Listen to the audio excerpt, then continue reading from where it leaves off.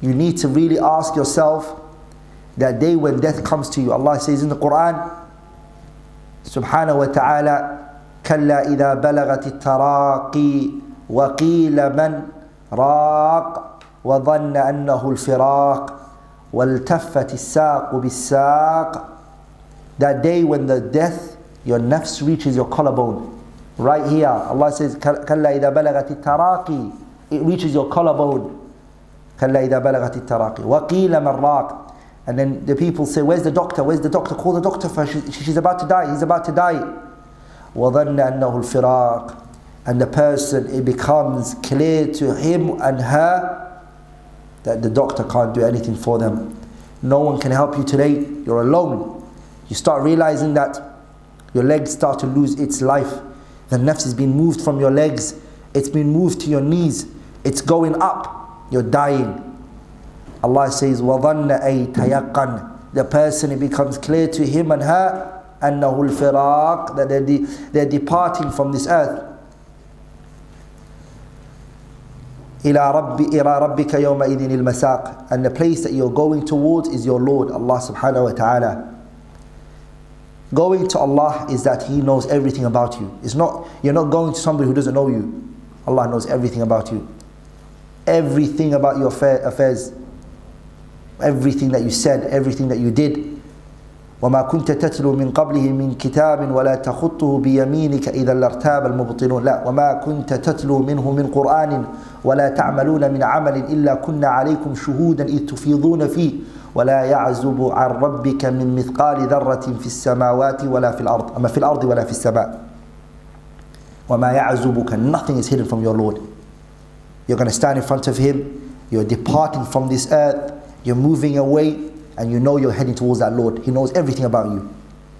Subhanahu wa ta'ala, He knows your kha'inat al-a'yun wa ma tukhfi sudur, what you're hiding in your chest. He knows what's in your mind. He knows what you really did that day when people thought you didn't do it. He knows all of your public and your private affairs. Prepare for that day, sisters, wallahi.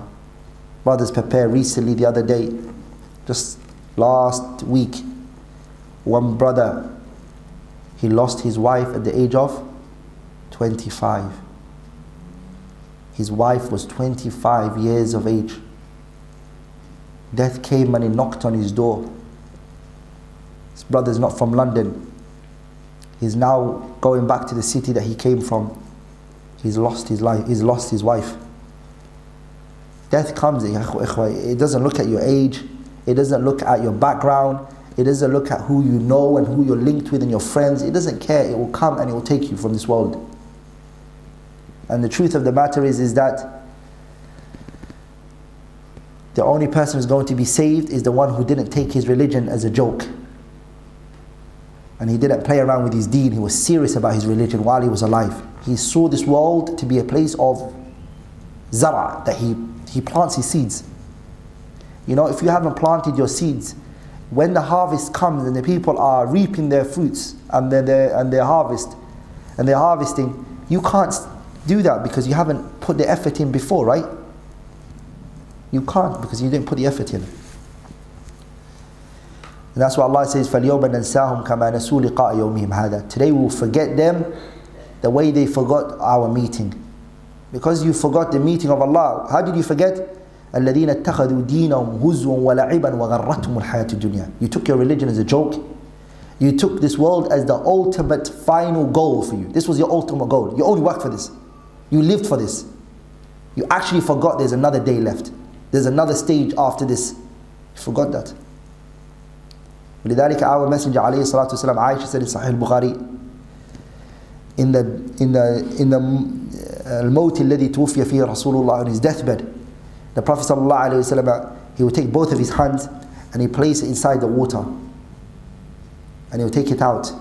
And he would take the palms of his and he would rub it on his face, alayhi And he would say to his wife Aisha, Inna lil sakarat.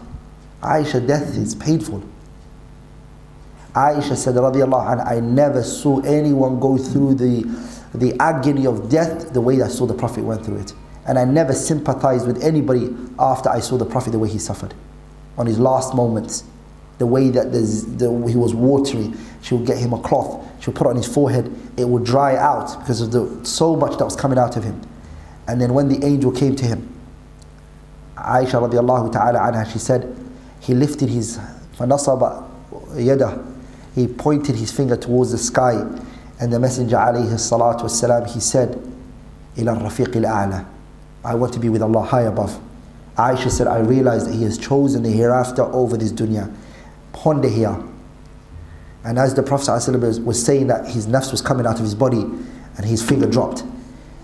Ponder here, why would the Prophet choose the hereafter? Because he worked for it. He knows he's got something there waiting for him.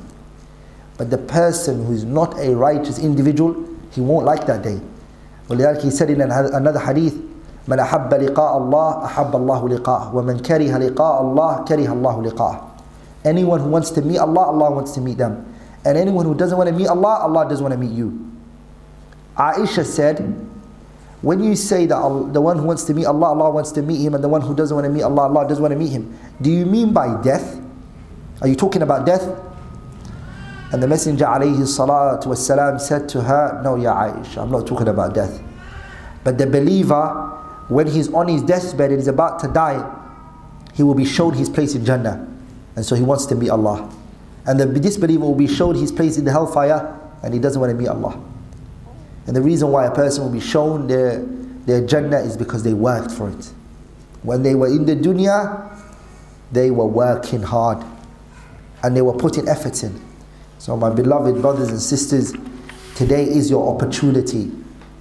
tomorrow, when you come, as Allah said about the kuffar and the disbelievers, بل بدا لهم ما كانوا يخفون من قبل ولو ردوا لعادوا لما نهوا عنه وإنهم لكاذبون قال رب ارجعوني لعلي أعمل صالحا فيما تركت Allah says كلا إنها كلمة هو قائلها ومن ورائهم برزخ إلى يوم يبعثون They will say, the sinners and the criminals will say, Rabbi rji'uni, oh Allah, take me back to the earth one more time. I want to go back.